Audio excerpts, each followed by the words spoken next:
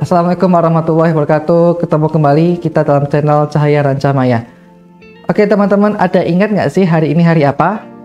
Hari ini adalah hari di mana kita merayakan hari kemerdekaan kita, yaitu pada tanggal 17 Agustus 2021.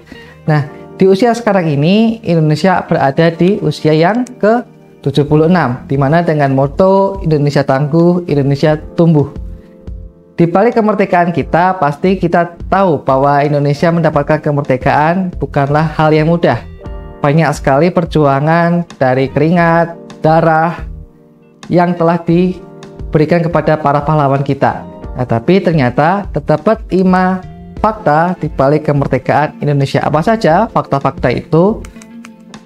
Yang pertama, bahwa penyusunan teks proklamasi kemerdekaan, yang di mana kita ketahui itu disusun di rumah perwira Jepang ya ini Laksamana Maida. Para tokoh-tokoh kita, Soekarno, Muhammad Hatta, dan para tokoh politik lainnya menyusun teks proklamasi di rumah Laksamana Maida. Fakta yang kedua,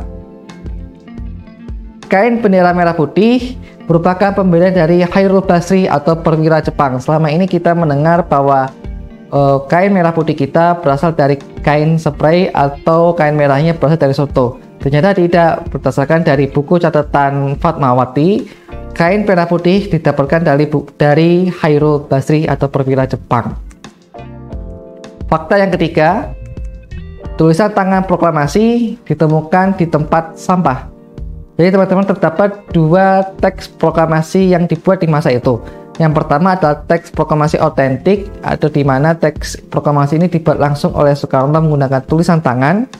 Lalu yang kedua ada teks proklamasi klan di mana teks proklamasi ini diketik langsung oleh uh, para pahlawan kita. Keempat, ada tahukah sosok dengan dua tokoh ini? Dia adalah Franz Mendur dan Alex Mendur.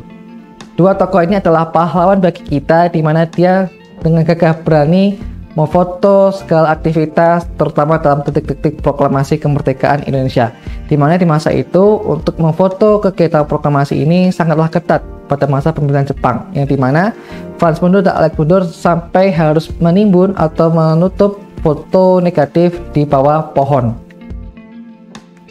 Nah yang terakhir yang kelima fakta kelima adalah Suara kemerdekaan yang selama ini kita dengar itu bukan direkam di tahun yang sama dengan Hari Kemerdekaan Indonesia, melainkan lima tahun berikutnya pada tahun 1950 oleh Radio Republik Indonesia.